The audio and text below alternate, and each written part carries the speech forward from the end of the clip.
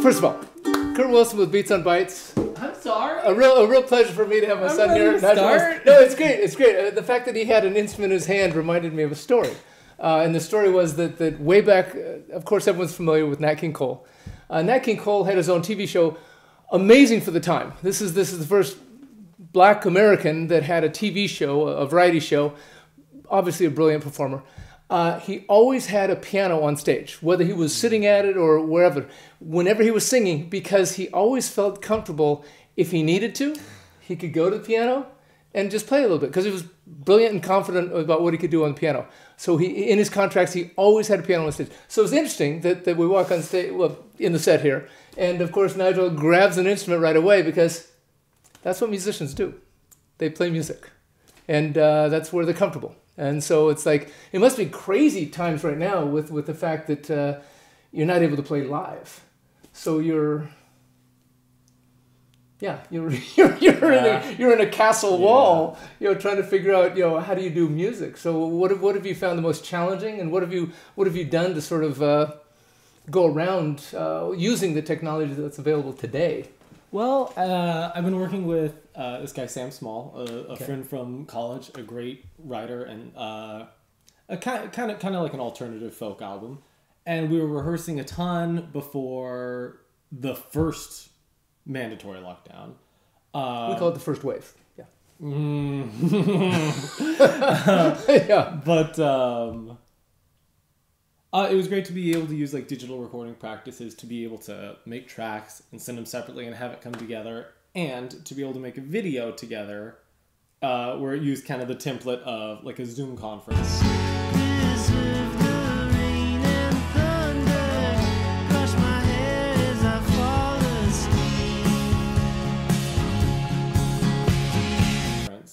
But we were all superimposed in because you can't actually play it with the lag introduced there yeah i know it's a bummer yeah. there are some programs apparently where there's no lag and you can do that but I heard somebody was talking to me about it yesterday.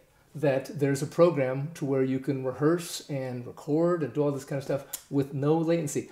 I'll waiting to see it it. when i Waiting- see it Waiting to see that. I've had that promised by like three programs. I've Yeah. stopped giving applications like that a shot, which is a bummer. But Yeah. my heart's been hardened toward lagless uh, communication. yeah. And beyond that, I've been uh, streaming on Twitch, which is sick. It's super fun. Uh, just big synth rack going at it, playing a bunch of like, you know, my kind of wonky brand of house music.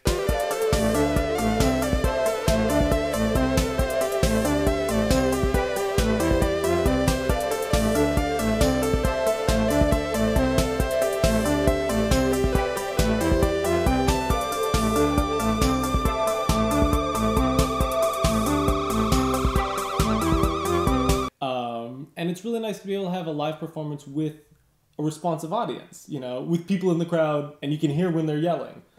Um, That's that's a plus. and they're all yelling. I mean, musicians, we, we feed off the energy of the audience, Yeah. and so that's that's awesome. So tell me a little bit about this. So you've got a setup to where you have a Twitch streaming live. That now are these like cover tunes? Are they uh, original tunes? What what what are you actually streaming when you're when you're doing these Twitch? Some some cover tunes, like I, I threw in a little Daft Punk.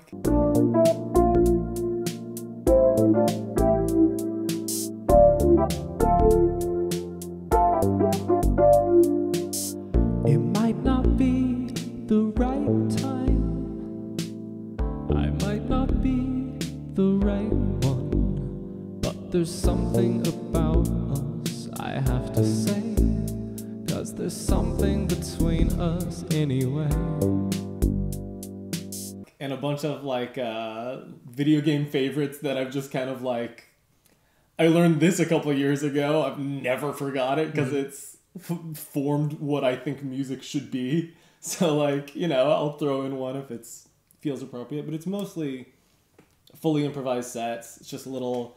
I got my Roland TR-08, got the Yamaha DX7, Korg Minilogue. Uh, I had Cynthia, my Roland SH101, which is the Crimson crop, best synthesizer in the world. Yeah. Uh, I did recently replace it with Behringer's SH101 clone, the MS1, because it's, I mean, like an eighth the cost, so I don't feel bad about playing it like kind of hard. Because Cynthia is kind of like a relic that should be preserved and Right, used right. for. Yeah, I should be. I've learned I should take it out of its glass case, and then and then play it and put it back. Yeah, You yeah. say this as a joke. no. I, the fact that you named it, the- you know that that, that But says a named lot. Her. Like I said. Okay. Yes. that you named her the Uh, synthesizer. so, and then I've got all that running into my Teenage Engineering OP1, so I can loop it. It's a good setup. It's a fun setup, and it's really conducive to um, having a live set that feels live, but can be manipulated as though I were using a DAW without actually having a DAW, which a lot of people use in their streams, and more power to you. Do your thing, but like I, I find that that can be a little dull when you're staring at a work screen the whole time Sure. instead of a guy frantically trying to not miss the beat because I can't quantize anything. Right. Right. Right. Yeah.